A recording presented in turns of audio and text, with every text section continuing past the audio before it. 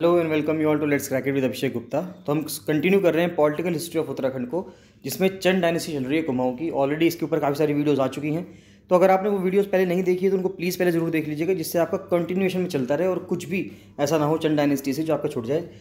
कोई भी सवाल, चाहे वो प्रिलिम्स में आए, चाहे वो मेन्स में आए, चाहे एम वाले क्वेश्चन हों, चाहे मेन्स के क्वेश्चन हो, लिखने वाले सब्जेक्टिव टाइप सभी में आप चंद डायनेस्टी के ऊपर अगर सवाल आता है तो आप उसमें लिख सकते हैं। ऑलरेडी हमने चंद डायनेस्टी के ऊपर सारी, काफ़ी सारी वीडियोस बना चुके हैं। कई सारी वीडियोस के थ्रू चंद डायनेस्टी कवर हो चुकी है। अभी एक वीडियो में या दो वीडियो में चंद डायनेस्टी खत्म हो जाएगी।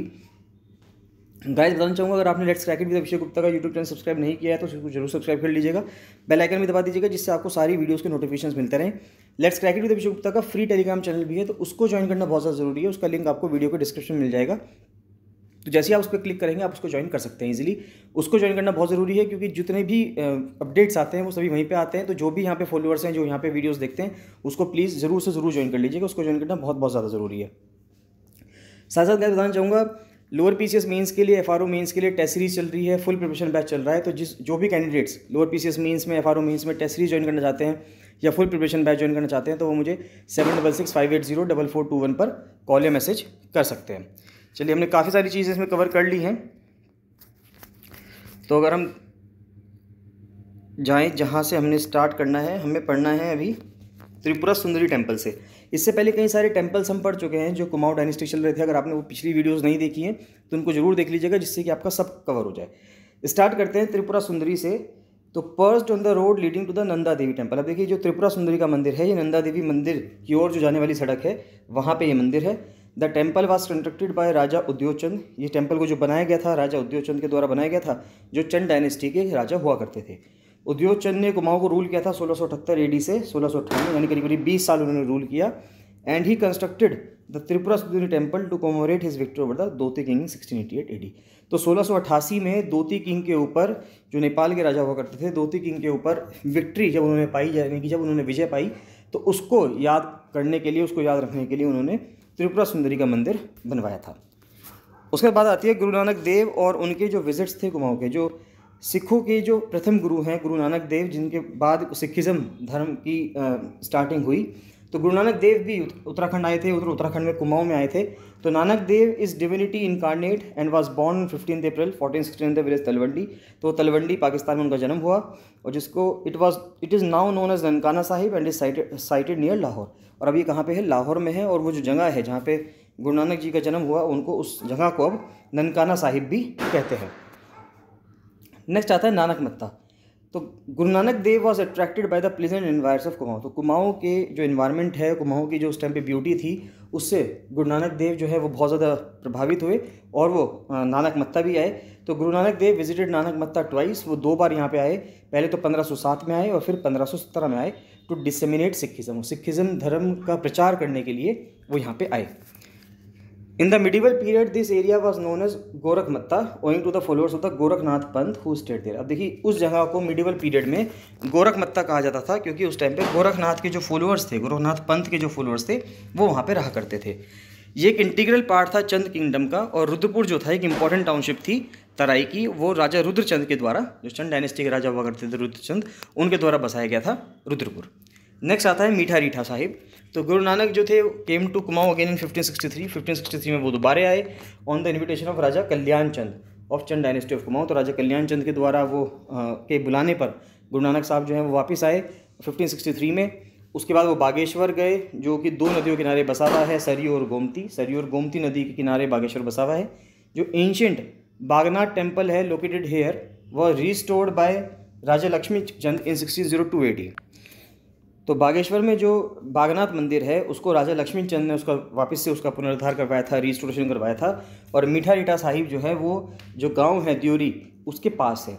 Gurdwara was however constructed in 1960 मीठा रीटा साहिब पे जो गुरुद्वारा है ये जो लढ़िया और रतिया जो रिवर्स हैं, उसके कन्फ्लुएंस पे बसा हुआ है और ये नाइनटीन में बनवाया गया था। फ़र्स्ट केयर टेकर जो थे गुरुद्वारा के, वो लाला बैसाखी राम थे, जो कि हल्द्वानी से बिलोंग करते थे।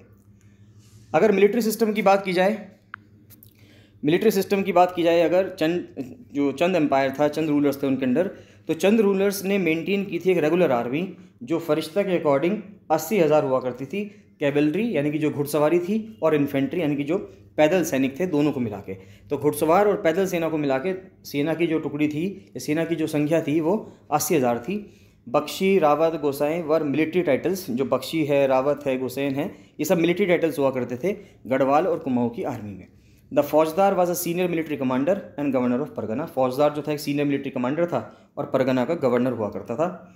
डिसिप्लिन, यानी कि अनुशासन, पंक्चुअलिटी, समय की पाबंदी और कमिटमेंट, यानी कि प्रतिबद्धता ये बेसिक ट्रेड्स हुआ करते थे हिल सोल्जर्स के। तो जो हिल सोल्जर्स हैं, जो हिल्स के, यानी कि माउंटेन्स के जितने भी सिपाही हैं, उनके अंदर डिसिप्लिन पंक्चुअलिटी और कमिटमेंट ये ये आप कह सकते हैं कि भर भर के होता है and were recognise for their exemplary courage and chivalry shown in the battle field और वो बहुत ही ज़्यादा साहस दिखाते हैं और शाइवलरी दिखाते हैं एक कभी भी, जब भी युद्ध का मैदान में वो उनको भेजा जाता है।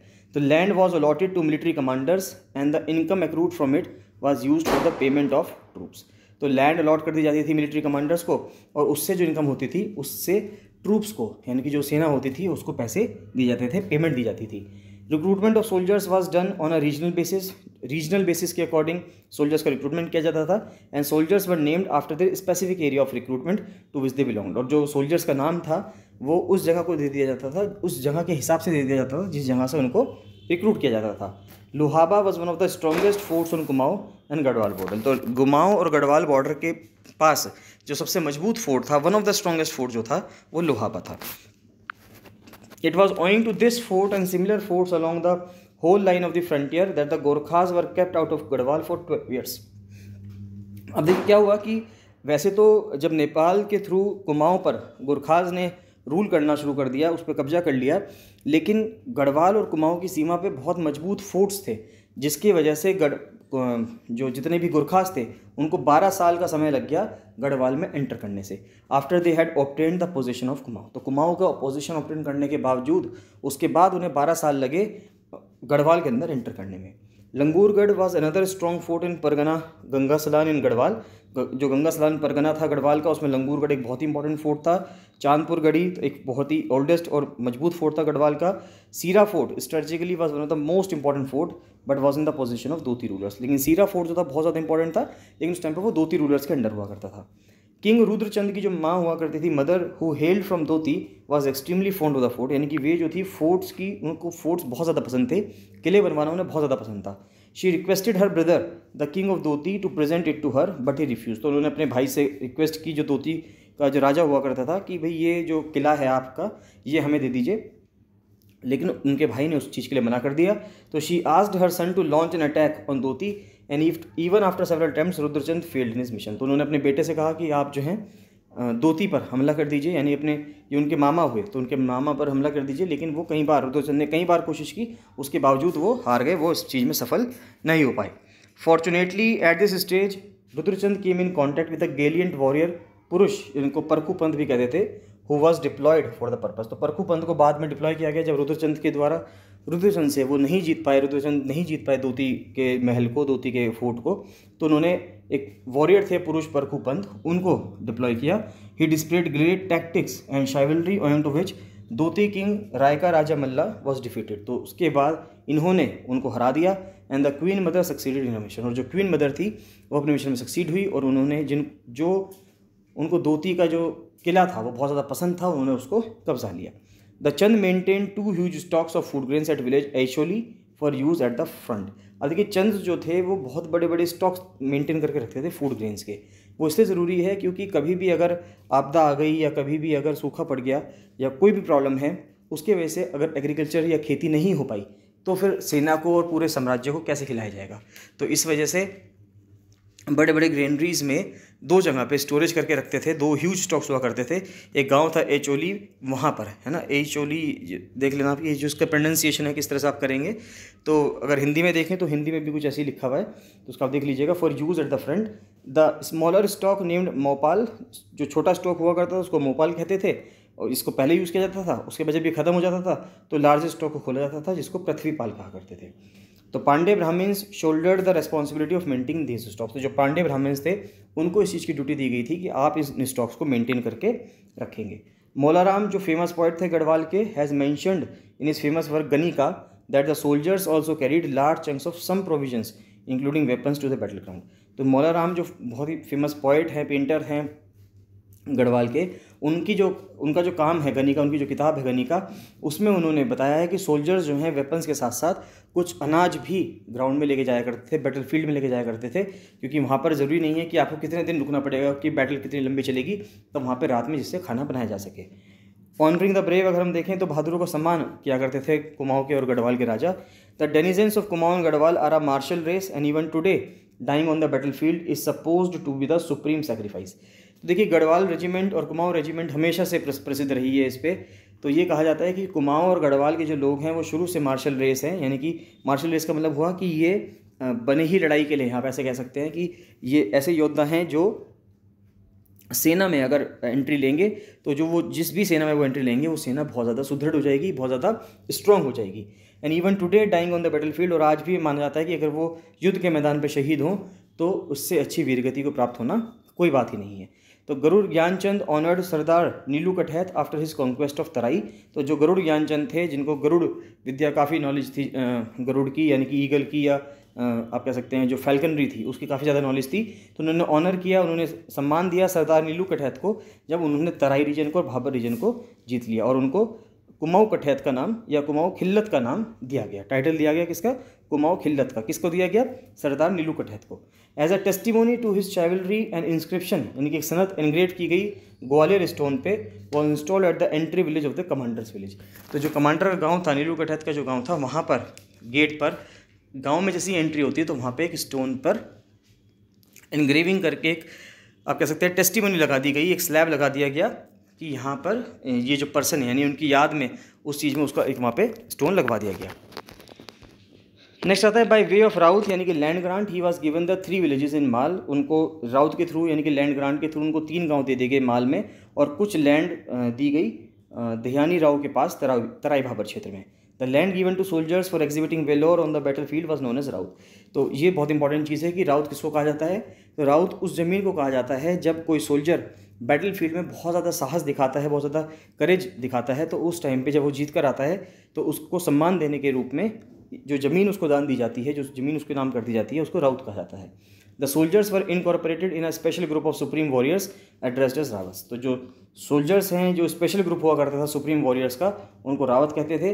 The land grant conferred on the family of martyrs who had shown exemplary courage उसको क्या कहते थे? उसको मराउत कहते थे। यानी देखिए राउत हो गया जो पर्सन ज़िंदा है उसको और मराउत हो गया कि मान लेते हैं कोई पर्सन बहुत ज़्यादा बहादुरी दिखाता हुआ बैटल फ़ील्ड में जब वो शहीद हो जाता है तो उसके परिवार को जो ज़मीन दी जाती है उसके घर वालों को जो ज़मीन दी जाती है उसको मराउत कहते थे।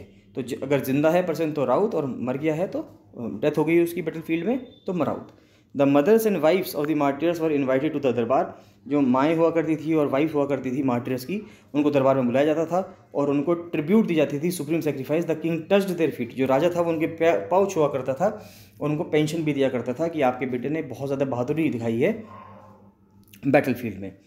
द पॉपुलर फोक डाइटी यहाँ पे आप देखिए, अगर ये चीज़ आज के टाइम पे अगर हो तो कितना अच्छा होगा। जितने भी हमारे सोल्जर्स जो बैटल फ़ील्ड में सीमाओं पे जिनकी डेथ होती है, और उनकी मदर्स उनकी वाइफ्स को इस तरह से सम्मान मिले तो वो कितना ही अच्छा होगा। सभी के साथ ऐसा होना चाहिए।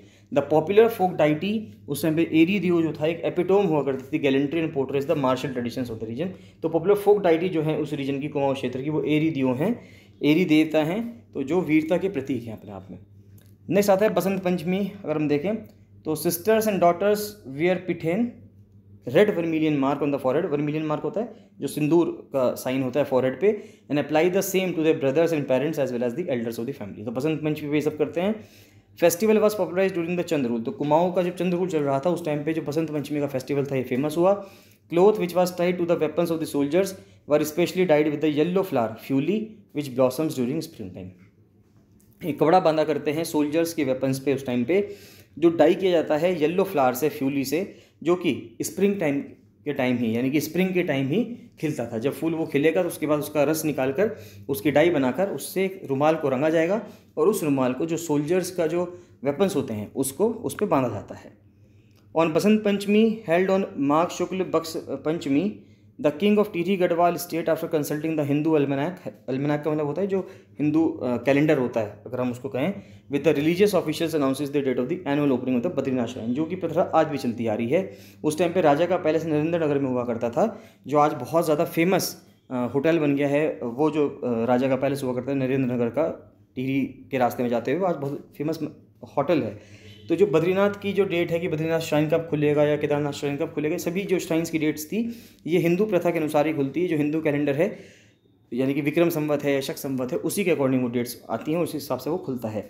Gaddu Ghadi ceremony is also hosted there एक गड्डू घाड़ी जो सेरेमनी है, वो भी वहाँ पे होती है। तो गड्डू घड़ी क्या है, ये एक सिल्वर वेसल है, कलश है, जिसमें से in which the oil extracted from the sesame seed use for worship in Badrinath Dham is kept तो सेसमे सीड से, यानी कि जो सेसमे के सीड्स हैं तो यानी कि तिल तिल के जो तेल हैं, तिल का जो तेल निकलता है, उससे, जो तेल निकलता है, उससे उनकी पूजा होती है बद्रीनाथ धाम में। तो और उसको जिस चीज़ में रखा जाता है, उसको कलश कहते हैं और वो जो कलश है, उसको गड्ढू घड़ी कहते हैं। तो गड्ढू घड़ी वो सिल्वर वेसल है, यानी कि चांदी से बना हुआ वो कलश है। It is the oldest oil crop in India जो सेसमे है, यानी कि तिल है, वो अपना में एक ओल्डेस्ट ऑयल क्रॉप है भारत का and its antiquity antiquity dates back to the Indus valley civilisation और इंडस वैली की सभ्यता में भी इसको पाया गया है। ट्रेडिशनली सेसमे ऑयल जो है, वो लॉर्ड बद्री की पूजा करने से पहले लगाया जाता है। बहुत owing to its anterior medicinal properties क्योंकि उसमें बहुत ज़्यादा मेडिसिनल प्रॉपर्टीज़ भी हैं। इस वजह से उसको जब लॉर्ड बद्रीनाथ की हम पूजा करते हैं, जो कि अपना में विष्णु के रूप हैं तो जब उनकी हम पूजा करते हैं तो उस टाइम पे सेसमे सीड का, यानी कि तिल के तेल का इस्तेमाल किया जाता है। ड्यूरिंग द विंटर मंथ्स जब बद्रीनाथ बंद रहता है और पिलग्रिम्स वहाँ पे नहीं जा पाते तो उनकी जो प्रतिमा है, उनको जोशीमठ लिया जाता है। यानी बद्रीनाथ को, लॉर्ड बद्रीनाथ को जोशी मठ लिया जाता है और जोशी मठ में उनकी पूजा होती है फिर with the seat of Shankaracharya and placed in the Narsingh temple वहाँ पे जो नर्सिंग टेंपल है जोशीमठ में, वहाँ पे उनकी पूजा अर्चना की जाती है। Joshimath is considered as one of the most sacred places owing to antiquity and association with lord Badrinath. The name Joshimath is derived from the word Jyotirmath the place of jyotirlingas of lord Shiva तो जो जोशीमठ है, उसका नाम निकला है ज्योतिर्मठ से। और ज्योतिर्मठ का मतलब होता है कि वो जगह जहाँ पे लॉर्ड शिवा के ज्योतिर्लिंग्स हैं, उससे नाम निकल गया है जोशीमठ का।